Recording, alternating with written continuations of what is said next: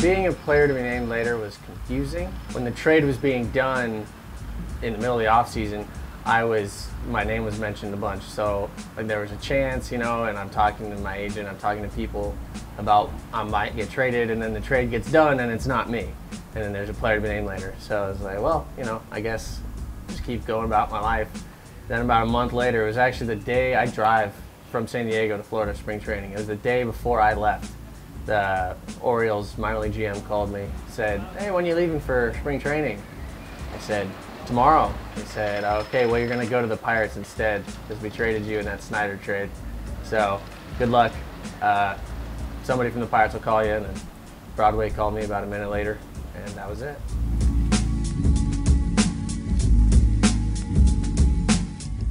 the idea, you know, every pitcher likes to strike people out. You know, that's that's how you really know that you you know beat a hitter. You strike them out. It's not exactly always helpful as far as pitch count goes and efficiency and stuff like that.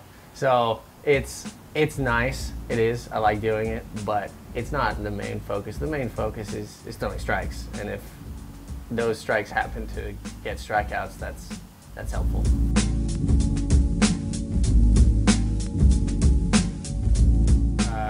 Younger, I was I did plays and stuff for fun, and when I got to high school, my junior year, I started learning that I was actually kind of good at singing.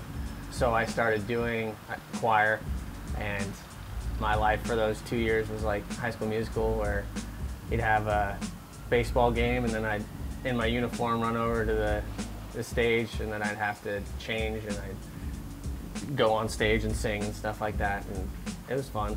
And then uh, when I was in the college application process, it came down to schools, schools that I could only play baseball, schools that I could only do music, and then the one school I found that I could do both was the college that I went to, which is Regis University, is out in Denver.